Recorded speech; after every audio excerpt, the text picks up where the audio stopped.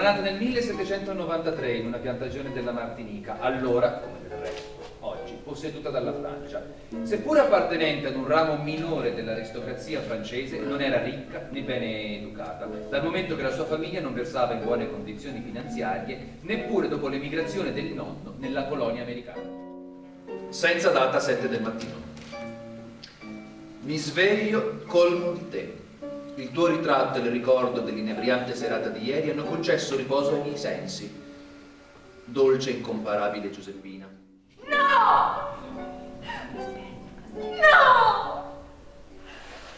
Non riuscirò mai a sopravvivere a questo. E dicevate che mi amavate. Io non posso abituarmi a questa idea, essa mi uccide.